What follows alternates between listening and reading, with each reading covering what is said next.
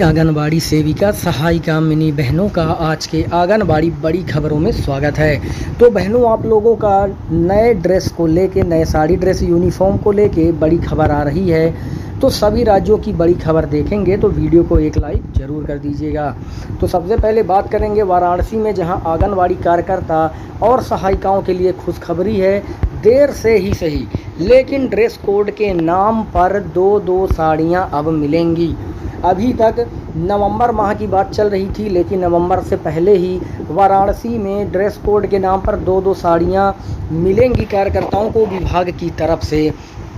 इसका आशय और इसका जो आदेश है, यह जारी हो चुका है। वितरण भी शीघ्र होने की बात की जा रही है कि इसी माह के अंत तक जो है कि सभी आंगनबाड़ी कार्यकर्ताओं को दो दो साड़ियाँ दी जाएँगी। अब साड़ियों का क्या गुणवत्ता कैसी है, क्वालिटी कैसी है, इस पर हम आगे चर्चा करेंगे।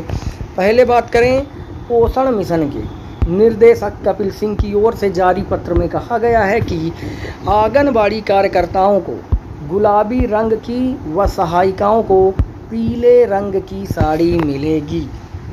यह गौर करने वाली बात है, यहाँ पे बहनों की गुलाबी रंग की जो साड़ी है, वह कार्यकर्ताओं के लिए है। पीले रंग की साड़ी सहायिकाओं को मिलेगी।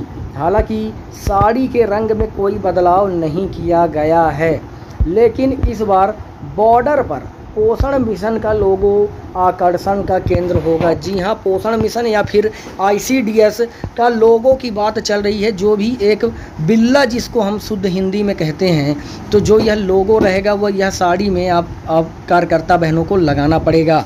जब यह क्लियर हो जाएगा कि लोगो आईसीडीएस का लगाना है या फिर पोषण मिशन का लगाना है। साड़ियों में कोई बदलाव नहीं है, कई जगहों पे जो वितरण है, उनमें भी आप देख सकते हैं कि जो येलो रंग की साड़ी हमने आपको कई वीडियो में दिखाया है, येलो रंग की साड़ी है, गोल्डन ब्राउन कलर का जो है कि इसमें बॉर्डर है। तो यह जो है कि सहायिकाओं के लिए है तो वहीं पे यह गुलाबी रंग की जो साड़ी है, यह कार्यकर्ता बहनों के लिए है।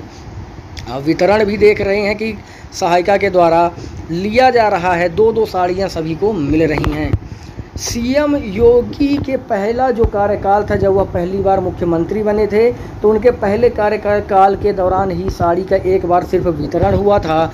उसके बाद फाइनली आज इतने सालों बाद जाके अब इस चीज़ का वितरण होगा। आंगनबाड़ी कार्यकर्ताओं एवं सहायिकाओं का कहना है कि योगी के पहले कार्यकाल के प्रारंभ में साड़ी का वितरण हुआ था। इसके बाद कभी नहीं मिला। इस बार भी तैयारी है, लेकिन कब तक मिलेगा, यह देखने वाली बात है, क्योंकि आदेश जारी है, लेकिन कोई भी दिनांक डेट कन्फर्म नहीं किया गया है, या माह कि कब तक में साड़ी मिलेगी। सरकार का प्रतिवर्ष ड्रेस, सरकार को प्रतिवर्ष ड्रेस चेंज करना चाहिए, यानी कि वितरण करना चाहिए सरकार को। तो मतलब कि हर वर्ष जो है कि दो दो साड़ियाँ कार्यकर्ता और सहायिका बहनों के लिए सरकार को देनी चाहिए, जो कि सरकार पाँच साल में एक बार ही देती है। अब दूसरी खबर, महाराजगंज की तरफ़ से भी चलेंगे बहनों की शासन ने आंगनबाड़ी, मिनी आंगनबाड़ी कार्यकर्ता तथा सहायिकाओं के यूनिफॉर्म का रंग बदल कर नया ड्रेस कोड लागू किया है। यह महाराजगंज की बात चल रही है। यहाँ पे भी रंग को बदला गया है। मिनी कार्यकर्ता कार्यकर्ता एवं सहायिकाओं का यूनिफॉर्म ड्रेस को नया ड्रेस कोड लागू है। इसके साथ अब पीले रंग की साड़ी, सहायिका और गुलाबी रंग की साड़ी, मिनी आंगनबाड़ी तथा आंगनबाड़ी कार्यकर्ता पहनेंगी। मतलब कि हर जगह का जो ड्रेस है, उसको सेम कलर ही किया जा रहा है। नए ड्रेस कोड की साड़ी खरीदने के लिए सहायिकाओं और आंगनबाड़ी कार्यकर्ताओं के खाते में पैसा भेजा जाएगा, धन भेजा जाएगा। बता दें कि महाराजगंज ज़िले में लगभग अंठावन सौ आंगनबाड़ी कार्यकर्ता और सहायिका हैं, जिनमें मिनी आंगनबाड़ी बहनें भी शामिल हैं।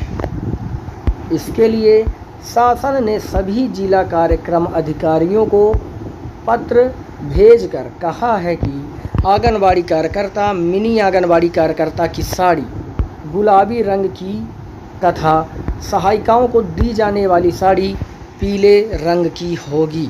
अब इन रंगों की जो साड़ियाँ आंगनबाड़ी कार्यकर्ता सहायिका यूनिफॉर्म के रूप में जो है कि प्रयोग करेंगी। अब यहाँ पे इसका जो बजट वजट है, यह भी हम आपको बता देते हैं कि साड़ी खरीदने को मिला सोलह दशमलव बीस, यानी सोलह लाख बीस हज़ार का जो है कि बजट पारित किया गया है। जिला कार्यक्रम अधिकारी अजात शत्रुशाही ने बताया कि आंगनबाड़ी, मिनी आंगनबाड़ी तथा सहायिकाओं के यूनिफॉर्म के लिए साड़ी खरीदने को शासन ने 16 लाख बीस हज़ार रुपये को अवमुक्त किया है। इस धनराशि से साड़ी खरीदने को कार्यकर्ताओं एवं सहायिकाओं के खाते में धन भेजा जाएगा। अब यहाँ पे देखिए कि साड़ी का रेट क्या दिया गया है। अगर हम बात करें उत्तर प्रदेश की तो प्रति साड़ी तीन सौ रुपये के दर से होगी खरीद। तीन सौ रुपये की साड़ी रहेगी। जिला कार्यक्रम अधिकारी आज़ाद शत्रु ने कहा कि खाते में सभी के धन तो भेजा ही जाएगा। प्रति साड़ी तीन सौ रुपये के दर से खरीदनी होगी। अब यहाँ पे बहनों, बिल्कुल इसी तरीके का आदेश अगर मध्य प्रदेश में भी पारित हो तो यहाँ पे भी रेट सरकार ही डिसाइड करे कि आपकी साड़ी तीन सौ में आएगी कि चार सौ में आएगी कि पाँच सौ में आएगी। यहाँ पे सरकार क्या करती है कि सरकार ने सिर्फ़ साड़ी वितरण का बोल देती है रेट नहीं बताती है, जिसके कारण क्या है कि सुपरवाइज़र खुद खरीदारों सप्लायरों के साथ मिल के दो सौ वाली साड़ियाँ जो हैं कि चार सौ में बेच रहे हैं, तीन सौ की साड़ियाँ छः सौ में बेच रही हैं, मनमानी पैसा वसूला जा रहा है। तो महाराजगंज की बात करें तो यहाँ पे प्रति साड़ी तीन सौ रुपये की दर से खरीदनी होगी, साड़ी खरीदने के लिए के बाद बिल बाउचर भी लगाना होगा, तभी उनके खाते में जो है कि पैसा आएगा कार्यकर्ताओं के, ताकि वह बता सके कि हमको साड़ी इतने रुपए की ही मिली है। अगर कहीं पे साड़ी, मान लीजिए तीन सौ की जगह साढ़े तीन सौ की मिल रही है तो उसका भी बिल बाउचर आपको लगाना ही पड़ेगा। तभी जाके आपके खाते में सरकार के द्वारा पैसा भेजा जाएगा। तो बहनों बजट जारी हो चुका है रेट भी फाइनल हो चुका है, कि 300 के हिसाब से रहेगी। रंग का हमने आपको बता दिया है, कई जगहों पे जहाँ वितरण है, आप देख सकते हैं कि सहायिकाओं को पीले कलर की साड़ी, कार्यकर्ताओं को गुलाबी रंग की साड़ी भी है। तो रंग भी यहाँ पे डिसाइड हो चुका है। अब बस वितरण कब से करना है, या वितरण जैसे ही पता चलता है तो उसके बाद से कार्यकर्ताओं अपनी साड़ियाँ खरीद सकती हैं। तो बहनों, इस मामले में आपके भी कोई सवाल जवाब हों और बताइएगा कि क्या यह ड्रेस का जो कलर है यह सही है कि कोई अन्य रंग का साड़ी होनी चाहिए? आपके कोई भी आंगनबाड़ी से जुड़े सवाल जवाब हो, आप कमेंट बहनों ज़रूर करिएगा। वीडियो बहनों पसंद आई हो तो वीडियो को एक लाइक ज़रूर कर दीजिएगा।